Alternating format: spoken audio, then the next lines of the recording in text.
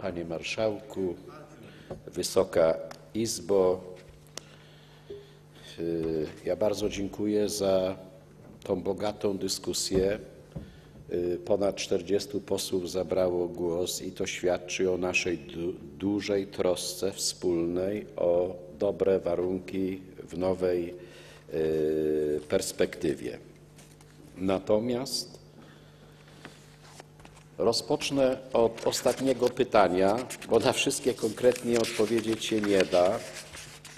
Natomiast pan poseł pytał o właśnie ten rozwój y, w Polsce Wschodniej, na tych biedniejszych terenach, jeżeli chodzi o tą nową perspektywę. Y, Mówiłem w moim wstępnym wystąpieniu, że właśnie z Funduszu Spójności założenia, które mamy wstępnie ustalone z Ministerstwem Rozwoju Regionalnego w ramach umowy partnerskiej, to są założenia, dzisiaj je przyjęliśmy. Uzgodniliśmy, że ten Fundusz Spójności będzie mógł być wykorzystany przez wszystkie wioski, nie wyłączając żadnego obszaru. To dzisiaj rano zapadło na posiedzeniu kierownictw ze szczególnym uwzględnieniem tych terenów, które ma największe problemy, jeżeli chodzi o infrastrukturę. I tutaj tak, na obecnym etapie sprawę dróg lokalnych, to jest kluczowa sprawa, spory trwały przez parę miesięcy, zakończyło się to sukcesem na obecnym etapie, to są założenia. Dalej, jeżeli chodzi o internet szerokopasmowy, działalność kulturalną, zdrowie, to wszystko jest oczywiście w tym pakiecie. Natomiast o to trzeba y, po prostu zabiegać też już bezpośrednio na poziomie samorządu. I tak jak pan y, poseł Kilion Muniyama mówił, samorządy w, w, w różnym stopniu wykorzystują te możliwości. Ja nawet obserwuję to w Wielkopolsce, gdzie y, są gminy, które świetnie te programy wykorzystują, to ja co kwartał jestem tam na innej nowej oddanej świetlicy. Tak? Między innymi w tym rejonie, będę konkretny, powiat grodziski, gdzie naprawdę tyle świetlic powstało nowo oddanych, remis wyremontowanych i tak dalej. To jest inna Polska, ale też mam świadomość, że nie wszyscy w ten sposób mogą to wykorzystać z różnych względów. Jest potrzebna inicjatywa, ale też są potrzebne środki własne, umiejętność y, sięgania po te trudne pieniądze. Natomiast na jedną rzecz bym chciał zwrócić uwagę. My tak mówimy, co komu jest wygodne. Fakt jest faktem, że poprzednią perspektywę negocjowała koalicja SLD-PSL, natomiast kluczowa rola była PSL-u i wtedy wicepremiera Jarosława Kalinowskiego przy wynegocjowaniu tamtych warunków. To jest rzecz niekwestionowana. O tym wszyscy wiedzą i ja uważam, że tak samo godnie zachowamy się w tych y, negocjacjach, bo wiemy, że i płatności uzupełniające, otóż w bieżącym roku rolnicy polscy otrzymają na jeden hektar około 240 euro do jednego hektara, biorąc płatności z budżetu unijnego około 215 i różnica to jest z budżetu krajowego. W przyszłym roku będzie podobnie. Od razu odpowiadam, że już w budżecie są zapisane środki, żeby zabezpieczyć wypłaty w przyszłym roku na tym samym poziomie. One są proponowane w budżecie, który będziemy głosowali. Tu się zwracam, żeby tylko Izba poparła ten budżet i wtedy mamy to zagwarantowane. Natomiast jeżeli chodzi o pierwszy i drugi filar, oczywiście, że w płatnościach jesteśmy na siódmym miejscu od końca, biorąc płatności unijne. Gdybyśmy wzięli z naszego budżetu, to też zostało wtedy wynegocjowane. Wiadomo, kto głosował, a kto nie głosował za tym, kto tego nie chciał. Natomiast jest wielką sprawą, że bez względu kto miał tutaj rządy, w maksymalnym stopniu z budżetów żeśmy dokładali do płatności y, tych bezpośrednich w ramach, w ramach płatności uzupełniających. I to jest duża sprawa. To są duże kwoty.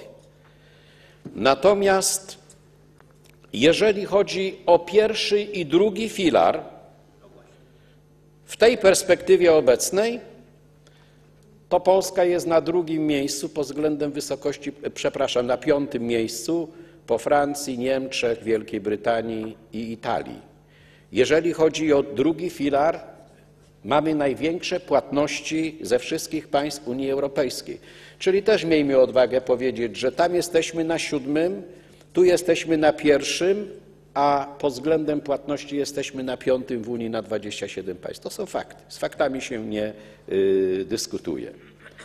I odniosę się do, mm, w miarę do wszystkich spraw, natomiast na wszystkie sądzę, że nie da mi się tutaj y, uzyskać tej odpowiedzi, udzielić, bo jest czasu y, za mało. Natomiast celem naszym jest uzyskanie średniej płatności w Unii Europejskiej i tutaj do pana przewodniczącego Krzysztofa Jurgiela. Wystarczy wejść na internet.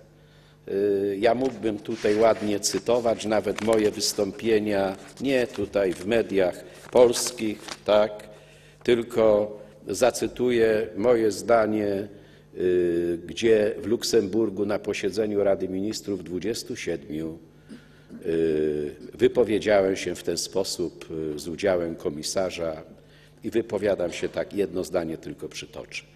Dlatego konieczne jest jak najszybsze odejście od systemu płatności bezpośrednich opartych na wielkościach historycznych i pełne zrównanie od 2014 roku w całej Unii Europejskiej w oparciu o stawki powierzchniowe na podstawie obiektywnych, aktualnych kryteriów. Polska uważa, że uzyskanie dla polskich rolników od 2014 roku minimum średniej płatności Unii Europejskiej na 1 hektar jest niezbędne dla zapewnienia równych warunków konkurencji. Jakby ktoś chciał rzetelnie wejść w te informacje z posiedzenia Rad Ministrów, to na każdym posiedzeniu taką informację uzyska, nie tylko u nas. Mówiłem o tym w bezpośrednim kontakcie z komisarzem Ciolosem na pierwszym nieformalnym szczycie y, w, na Cyprze. Y, Było niedawno posiedzenie ministrów rolnictwa Grupy Wyszehradzkiej, też żeśmy zajęli tam stanowisko. Jest ono na stronie Ministerstwa e, Rolnictwa, bardzo precyzyjne stanowisko, jeżeli chodzi o płatności. Tak? I żeby powoli ten temat zakończyć płatności, to sprawa płatności była przedstawiana na Radzie Ministrów przed wyjazdem na szczyt przeze mnie odnośnie pierwszego, drugiego filaru i tego trzeciego elementu fun- Funduszu Spójności, umowy partnerskiej. Poprzednio przed tym drugim expose o tym mówił wicepremier Waldemar Pawlak na Radzie y, Ministrów. Także to jest, y, jest to prezentowane. Natomiast też było pytanie o płatności, wypowiedź, informacje prasowe pani minister y, Bieńkowskiej. Ja wtedy byłem w Bukareszcie. Tak? Z Bukaresztu w ciągu dwóch, trzech godzin zajęłem moje stanowisko y, odnośnie tej sytuacji, informacji medialnych. Ono jest na stronie ministerstwa, było w papie, było w mediach bardzo szybko. I tam powiedziałem jasno, że według badań ośrodków i z mojej praktyki wynika, że co najmniej 75% środków idzie na cele produkcyjne. Jak dzisiaj rolnicy czekają na płatności, to czekają po to, żeby zakupić nawozy, materiał siewny, paliwo i tak dalej, na remont budynków, na bieżące sprawy. Zdarza się, że z tych środków też, też y, idą środki na dojazd dziecka do szkoły, na autobus, na książki i tak. Czyli one są bardzo efektywnie wykorzystane. My mamy faktycznie mniejsze środki, tak? Także tutaj nie można zarzucać, prawda, że y, tego. Obroniliśmy to, jest informacja, też prostuję. Mieliśmy rozmowę bardzo konkretną, żeśmy sobie pewne sprawy y, wyjaśnili i nie będę tego tematu szerzej y, rozwijał. Natomiast też było pytanie na temat kwot. I Tutaj, panie przewodniczący Krzysztofie, powiem tak. Nigdy się nie zmieniło stanowisko Polski, że jesteśmy za utrzymaniem kwot cukru i jesteśmy za utrzymaniem kwot cukru i kwot mlecznych. jednoznaczne stanowisko. Jeżeli chodzi o cukier, na ostatnim posiedzeniu Rady na 27 państw 14 ministrów wypowiedziało się za utrzymaniem kwot cukrowych, między innymi minister z Niemiec, Francji, my, inni i tak dalej. To jest duża szansa, żeby obronić. Oczywiście Komisja Europejska ma inne zdanie. To wiadomo, że sprawa trilogu, jak to dalej zostanie pilotowane. Natomiast y, przekonałem, mam w tym duży udział, że przekonałem ministra Francji, pana Le Folla, za tym, żeby poprzeć y, kwoty cukru, bo Francja, Niemcy i Polska to są trzej najwięksi producenci cukru. Tak? Także tutaj idzie to w dobrym kierunku. I nie zmieniamy. To nie jest, że tam my tego nie pilnujemy, że zmieniamy. Nie, panie przewodniczący. Pilnujemy tego na każdym posiedzeniu. Na to są dokumenty. Warto wejść też w, w posiedzenia rad, y, w informacje i tak. Natomiast jeżeli chodzi o kwoty mleczne, jesteśmy za kwotami mlecznymi bezmi- y, bezzmiennie, natomiast tutaj poparcie jest kilku państw. Litwy, Portugalii. Teraz, jak sytuacja się komplikuje, zaczynają się trochę zastanawiać, ale jest to temat bardzo trudny i o tym jasno tutaj informujemy, ale jesteśmy za utrzymaniem kwot. Kiedy była trudna sytuacja na rynku mleka y, w wyniku suszy i upadku gospodarstw w Portugalii, w Hiszpanii i w innych państwach, to wniosek Portugalii, żeby y, prawda, y, wspierać tą produkcję mleka, ratować gospodarstwa, to tylko wsparłem ja jako minister rolnictwa i następnie minister rolnictwa z Litwy. Nie? Czyli tutaj widzimy, że na rynku mleka jest to zdecydowanie trudniejsze. I było pytanie, co robimy w związku z przekroczeniem kwoty yy, mleka w roku bieżącym. Tak faktycznie jest. Y, Są bardzo, jest bardzo duża produkcja mleka w wyniku dobrej pogody, dużo masy zielonej, paszy na łąkach, pastwiskach i obecnie przekraczamy tą kwotę. Natomiast wykorzystaliśmy taki mechanizm i złożyliśmy wniosek do Komisji Europejskiej o najprostszy zabieg, który szybko będzie procedowany, czyli konwersję kwoty z bezpośrednich dostaw na kwotę hurtową. Ten wniosek jest złożony. On by na pewno mocno złagodził ewentualne konsekwencje, może uda się całkowicie uniknąć. Na ostatnim posiedzeniu Rady nie tylko wysłaliśmy ten wniosek, ale prowadziliśmy rozmowy z panem komisarzem Dacianem Ciolosem, mówiliśmy o tym z innymi służbami, zostało to mocno wsparcie i to pilotujemy. To jest y, sytuacja, jeżeli chodzi o y, mleko. Regiony były podnoszone. Faktycznie tutaj jest w tej chwili, i to też na ten temat dyskutujemy, stanowisko Polski jest jasne, żeby jeżeli chodzi o PROW, y, to w przypadku województw, które przekraczają te 75%, żeby tutaj mimo wszystko szukać wyjścia, bo co jest winna gmina, która jest na obrzeżu mazowieckiego, żeby yy, prawda, tutaj na tym tracić. I dyskutujemy i wnioskujemy, żeby tutaj zmienić to yy, podejście. I będę przyspieszał, to już mówiłem. Yy, Płatności bezpośrednie mówiłem, drugi filar mówiłem i sprawa spójności. To są te trzy elementy, o które trzeba zabiegać. Oczywiście, że jest problem y, finansowy. Oto trwa debata. Faktycznie, żebyśmy utrzymali około tych 240 euro na jeden hektar, kiedy nie będzie płatności z naszego budżetu, to potrzeba nam w tym pierwszym filarze około 3 miliardy y, euro w tej perspektywie. I o to idzie spór.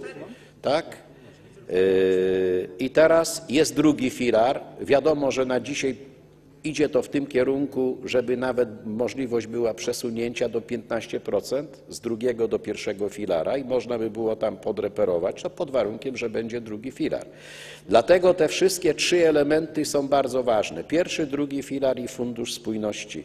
Wtedy z funduszu spójności można przesunąć pewne zadania, wkomponować w rozwój obszarów wiejskich. To też mogą pewne zadania być tu robione i trzeba zawalczyć o wszystkie te y, elementy i to po prostu y, robimy.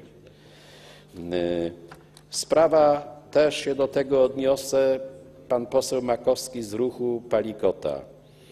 Y, Ciągle coś tam przeszkadza, ciągle wycieczki, natomiast w Agencji Restrukturyzacji i Modernizacji Rolnictwa, w Agencji Rynku Rolnego to wnioski składa pod 2 miliony rolników tak, na różne działania. Płatności to jest prawie milion 400 no to y, naprawdę jakbykolwiek policzył, to tylu członków PSL-u na pewno nie ma.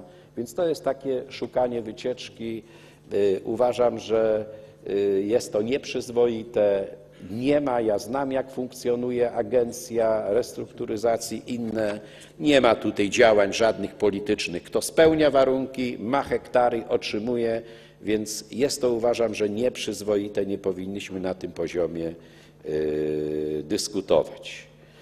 Było pytanie, ale słuszne było pytanie pana posła Makowskiego, jeżeli chodzi o innowacyjność. I tu jest taka pozycja poza pierwszym i drugim filarem do wykorzystania na badania przez instytuty i mamy trochę więcej informacji. To jest sprawa y, około 5 miliardów euro dla całej Unii w nowej perspektywie. I to jest godne uwagi, żebyśmy się tym y, zajęli. Natomiast instytucje, agencje, y, można mieć różne zastrzeżenia, natomiast agencje nasze, zarówno Agencja Restrukturyzacji, jak i, i Modernizacji Rolnictwa, Agencja Rynku Rolnego są wysoko notyfikowane w ogóle z certyfikatami, jeżeli chodzi o całą Unię y, Europejską. To by była ta sprawa. Będę przyspieszał, na ile y, potrafię. Y, Sprawa współpracy minister rolnictwa, minister spraw zagranicznych, premier rządu, pan prezydent. Mogę powiedzieć tak, że y, w imieniu MSZ-u prowadzi y, negocjacje pan wiceminister, y, pan Piotr Serafin. I powiem bardzo pozytywnie o naszej wyjątkowo dobrej współpracy. Jak trzeba, kontaktujemy się w ministerstwie, prowadzimy rozmowy nie kwadrans, nie y, pół godziny, tylko nawet półtorej godziny. Ostatnio też prowadziliśmy takie rozmowy na temat właśnie y, płatności bezpośrednich, tych płatności naszych krajowych, tych płatności unijnych, Funduszu Spójności i tak. Także kontakt z Ministerstwem Spraw Zagranicznych mamy, uważam, że bardzo dobry. Natomiast na Radzie Ministrów przekazuję bieżące informacje, jakie są i zagrożenia, jasno prezentując stanowisko, które i dzisiaj tutaj y, mówię. Są y, pewne prace, o których dzisiaj nie będę mówił. Uważam, że ta współpraca jeszcze może być lepsza, także ja nie mogę narzekać, ale będę z, przed expose pana premiera Donalda Tuska rozmawialiśmy na Radzie Ministrów na ten temat. Być może, że nie wszystko zostało wyeksponowane, ale będziemy dalej y, nad tym po prostu y, pracować. Modulacja. Przypominam sobie, jak jeszcze byłem w Komisji y, Rolnictwa i Rozwoju Wsi. Wtedy było zagrożenie y, modulacją 232 milionów euro. Były starania. W końcu Komisja y, Europejska y, aktem wykonawczym wprowadziła tą modulację. My nie mieliśmy wyboru, ale też powiem bardzo ogólnie, że uważaliśmy jako resort rolnictwa, że warto popracować, może jeszcze zaskarżyć to do ETS-u, tak? Żeśmy materiał przygotowali, on został oceniony głównie przez MSZ i uznano, że po prostu koszty są duże, y, wy- wygrana jest wątpliwa i tutaj nie podjęto decyzji o skierowaniu tej sprawy dalszych starań po prostu zniesienia czy zmniejszenia tej modulacji do Europejskiego yy, Trybunału yy, Sprawiedliwości. To by była ta sprawa. Kwoty cukru już mówiłem. Yy, Wieprzowina, pan poseł Cezary Olejniczak, sprawa wieprzowiny. Pracujemy nad programem wsparcia kierunku trzody chlewnej. M, głównie w temacie inwestycji w nowej perspektywie, żeby wyspecjalizować część gospodarstw produkcji y, prosiąt. Inne jeszcze są programy, ale największy problem z produkcji y, trzody polega na tym, że jest ona dalej rozdrobniona i nie ma tu powiązania z produkcją. Nie ma tak jak w mleczarniach, że producenci mleka są udziałowcami w mleczarni, tylko tutaj nie jest to skonsolidowane, nie ma tego przełożenia i warto nad tym y, popracować przez grupy producenckie. Takie dobrze, dobre przykłady też po prostu y, są. Teraz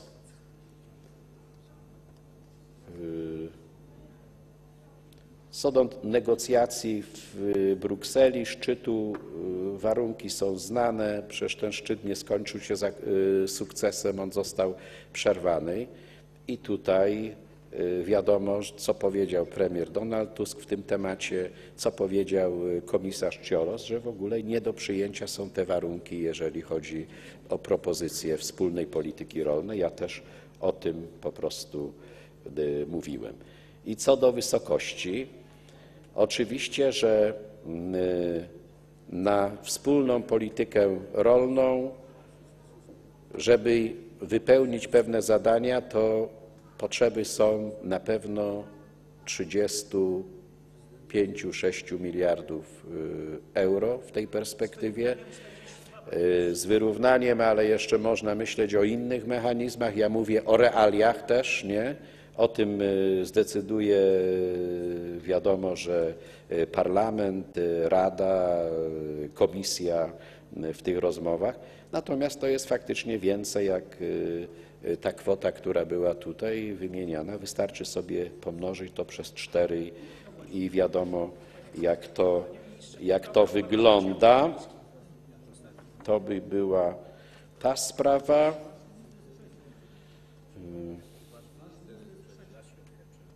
To już mówiłem. I realizacja 2007-2013. Przecież wczoraj była mowa tu na tej sali, była informacja bieżąca. Wystarczy posłuchać i wszystko wiadomo. Realizacja jest bardzo dobra. Y, W trakcie tej współpracy i przedakcesyjnej i akcesyjnej to wydano około 150 miliardów złotych. To wpłynęło na polską wieś, do polskiej produkcji i dzięki temu ta branża się cały czas rozwija i mamy nadwyżkę w sektorze rolno-spożywczym. W tym roku przekroczymy 3 miliardy euro. Nie ma drugiej dziedziny polskiej gospodarki. Na to trzeba postawić, bo to znakomicie się broni. Jeżeli chodzi o obszary y, górskie, tu jest wiele mechanizmów i jest tak, ONW górskie 320 zł na jeden hektar, dopłacamy do około 200 tysięcy hektarów. W, przyszłym, w przyszłej perspektywie też będą płatności ONW na obszarach górskich. Debata na ten temat trwa. My chcemy, żeby rzetelnie na ten temat dyskutować i zachować te płatności, które są dzisiaj jeszcze co najmniej przez dwa lata i też debatujemy y, w ten sposób.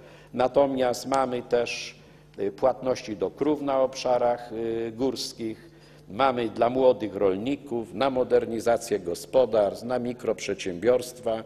Po prostu tam funkcjonują te wszystkie pro, pro, programy i rolnicy znakomicie y, z tym sobie radzą. To samo wypasanie y, owiec w województwach y, podkarpackie, świętokrzyskie, śląskie, małopolskie, opolskie, łódzkie i tak dalej. I nawet zakładamy już dziś y, w naszych rozmowach y, bardzo poważnych, że gdyby doszło do likwidacji kwot mlecznych, to my chcemy jeszcze przez parę lat utrzymać tam wsparcie regionalne w tych województwach, gdzie wymaga i gospodarstw, bo wiadomo, że wtedy i sprawa spółdzielni y, mleczarskich i tak dalej. Sprawa zazielenienia. Y, 30%. Jest to cały czas analizowane. Na takich wewnętrznych dyskusjach większość ministrów w temacie zazieleniania się wypowiedziała w ten sposób: najpierw niech będzie budżet ustalony, a wtedy dostosujmy zadania, które będziemy realizowali, a nie, że poprzeczka podniesiona bez budżetu, bez środków. Tu idzie, ta dyskusja w kierunku złagodzenia, większej elastyczności, yy, wprowadzenia tych upraw więcej w największych gospodarstwach, trzy w tych średnich i zwolnić nawet do 10-15 hektarów. Decyzje zapadną y, podczas y, głosowania, natomiast zgadzam się, że 7% na ten obszar ekologiczny, też dyskusja idzie w tym kierunku, żeby to zmniejszyć, też zmniejszyć y, warunki, czy objąć tym gospodarstwa też od 10 czy tam 15 hektarów. Natomiast nie będzie w przyszłej perspektywie rent strukturalnych, to już jest przesądzone i nie będziemy do tego wracać, bo ich po prostu nie będzie. Świętokrzyskie, co zrobić? Świętokrzyskim, mówiłem o tych działaniach, czyli pewna polityka jest, przy czym przewiduje się, że w ramach płatności 10% będzie wypłacane na płatności związane z produkcją i trzeba wtedy wybrać. Tu będą ograniczenia. Tytoń, chmiel, inne kierunki produkcji, one będą, one będą ograniczone. Ale klucz do sprawy też jest w zorganizowaniu się rolników. U mnie w ministerstwie byli rolnicy, którzy przypłynęli tratwą do Warszawy najbardziej zadowoleni byli ci, nawet mający drobne gospodarstwa, ale powiedzieli, że ja już zorganizowałem wokół siebie pięciu rolników, inny, że siedmiu, ośmiu. To jest chyba taka największa możliwość, żeby sobie pomóc w różnych działaniach, ale i w programach, jeżeli chodzi o PROW, też takie rozwiązania się przewiduje. Tak? Sprawa metropolii. Otóż w Funduszu Spójności mówimy o umowie partnerskiej to tutaj dzisiaj uchwaliliśmy, że przynajmniej na tym etapie założeń, że całe obszary wiejskie będą objęte właśnie tym programem wsparcia i wiem, że nie ma takiej zgody na to, żeby tylko parę metropolii objąć. Z tego co wiem, to w dokumentach zostało też przecież to zmienione. To by była ta sprawa. Wyrównanie płatności, drugi filar. Tak, na tym rzecz polega, że jest różnica między starymi a nowymi państwami. Tamte państwa korzystały przez 50 lat. Najpierw budżet był na, na te cele około 90% całego budżetu i też te państwa nie bardzo rozumieją, a dzisiaj każdy no, stara się ratować, co jest po prostu z tego możliwe. Na pewno jesteśmy za uproszczeniem. W tych różnych negocjacjach, rozmowach Polska ma bardzo prosty system SAPS i po prostu jesteśmy za tym, żeby jak najdłużej to utrzymać. Jest to zgodne z WTO i chcemy to utrzymać co najmniej przez kilka następnych lat, bo my mamy prosty, prosty system, więc po co komplikować. Tu była mowa o Francji rozmowach, natomiast o spotkanie ze mną zabiega minister rolnictwa Francji i się niedługo spotkamy odnośnie tych trudnych spraw. W pewnych sprawach jesteśmy zbieżni, szczególnie jeżeli chodzi o pierwszy filar i dlatego będziemy rozmawiali, tak jak żeśmy uważam trochę poprawili sytuację, jeżeli chodzi o kwoty cukrowe. Pszczelarze nie będę szeroko komentował, ale mamy program wsparcia dla pszczelarzy. Nawet w lubelskim wyrażaliśmy zgodę na prowadzenie takiego programu unijnego co do zdrowotności i tak dalej. Podpisywałem dokumenty, szkolenia, dopłaty do matek i to jest program unijny, będziemy go realizować. Teraz gminy wiejskie to jest ten problem, na ile mają własne środki, ale tutaj właśnie w, tym, w tej umowie partnerskiej szczególnie gminy, które mają trudności z infrastrukturą, trudne warunki w szczególności będą mogły korzystać z tego programu i dyskutowana jest też sprawa na Radzie Ministrów Rolnictwa kwalifikowalności VAT-u w przyszłych y, programach. Też jest to ważny temat. Jeżeli chodzi o pytania pani y, Anny Fotygi, odpowiemy, bo była prośba na y, piśmie. Mleko już odpowiedziałem. Umowa partnerska też już była mowa tutaj. Tytoń, y, chmiel, inne. Trzeba znaleźć tutaj te środki w ramach tych płatności y, 10% y, płatności bezpośrednich. Natomiast obecnie jeszcze w tym roku wypłacamy płatności związane z produkcją i z płatności niezwiązane. Wszystko już przez Agencję Restrukturyzacji i Modernizacji y, Rolnictwa. Prezydencja duńska. Powiem tylko jak najkrócej, że prezydencja polska została bardzo wysoko oceniona przez y, obywateli Unii Europejskiej, przez wszystkie struktury unijne. Prezydencja polska na bardzo wysokim poziomie. Y, Byłem w Brukseli, rozmawiałem nie tylko z naszymi y, przedstawicielami. To by była ta sprawa. Świętokrzyskie były już tutaj sprawy omawiane. Polsce jest bardzo dużo młodych rolników i też y, w płatnościach bezpośrednich można 2% będzie wydzielić.